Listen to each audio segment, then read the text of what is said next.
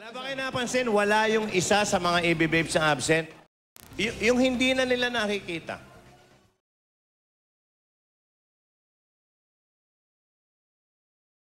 You, my darling,